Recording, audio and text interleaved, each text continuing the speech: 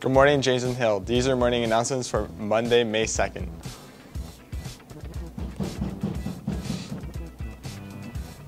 Today in the Culinary Cafe, we will be selling butter chicken, rice, and naan bread for $4, mac and cheese for $4, and beef taco salad for $4. The 11 yoga class will be having a bake sale Monday, May 2nd at lunch. Items will be available through donation, and all proceeds are going to Wellness Day activities. Sobeys Douglastown is hiring. If you're looking for a job, please check them out. Grad fees are $100 and are payable in the main office. A minimum of $50 is required by May 13th, and fees are going to be paid in full by May 27th. The grad fees cover all grad expenses.